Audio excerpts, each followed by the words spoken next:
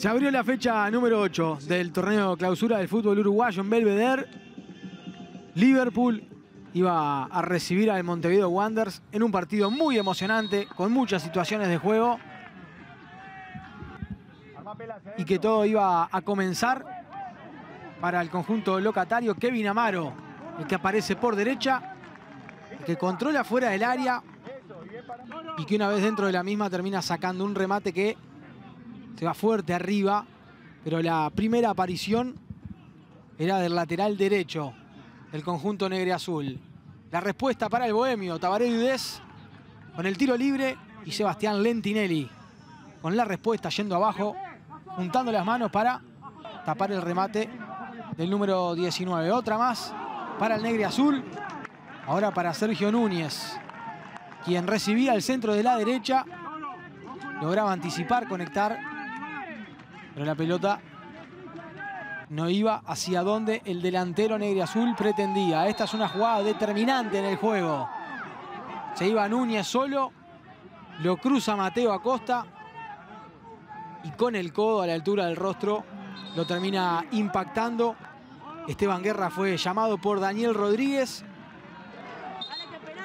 y el VAR termina chequeando y dictaminando que era para expulsión para el jugador bohemio. Y en esa misma jugada, dos pelotas en los palos que salvan al Montevideo Wander. Primero, Johnny da Silva tapando el remate de tiro libre.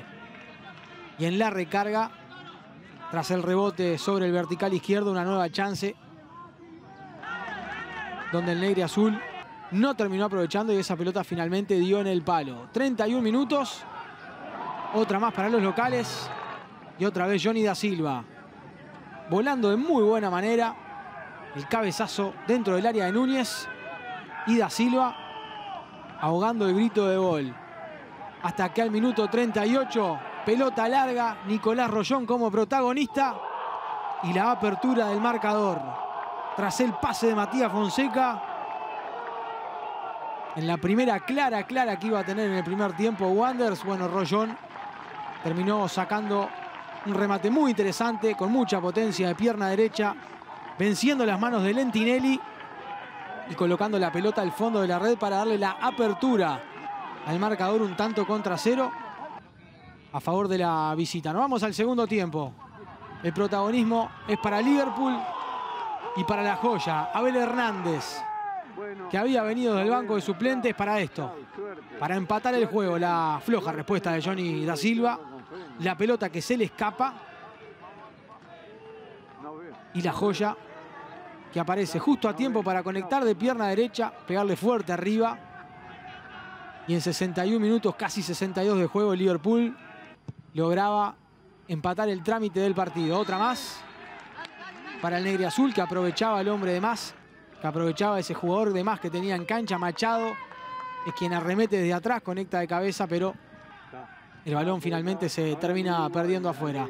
Seguía insistiendo el conjunto local. Otra más para Machado. El remate sobre la media luna, cara interna del botín derecho. Y el horizontal, aliado con Johnny da Silva, en esta tarde, termina negando el 2 a 1. No se quedaba atrás el bohemio que con los cambios intentaba darle frescura en ofensiva. El que aparecía ahora era Lucas Morales, uno de los goleadores del equipo sacando ese remate. Insistía el conjunto local con el remate de Cristian Tabó de afuera del área. Pero finalmente la pelota se iba a terminar perdiendo afuera, pasando cerca del vertical derecho. Una de las últimas que tenía el partido era esta. Y ahora el horizontal del lado de Lentinelli. Tras la aparición de Beglio, la conexión de pierna derecha y el palo, diciendo que ninguno iba a sacar la diferencia y Liverpool y Wanderers igualaron 1 a 1.